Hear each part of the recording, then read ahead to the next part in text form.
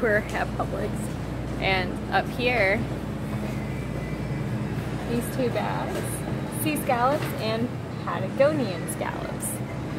I just came to the realization that when we go searching for seashells and uh, pick up seashells to bring them home, it's really just a weird form of taxidermy because we're just gathering the remains and bones of other animals because we think they look pretty and they're seashells. No, they're scallop shells. That's their bone. Taxidermist. Like that's just. But we're told these kids they're pretty seashells.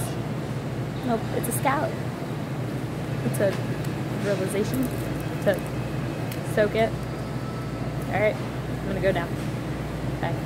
And this, this is what our our basket looks like. Look at it. They don't tell me what the. Crab meat, sushi, a finger.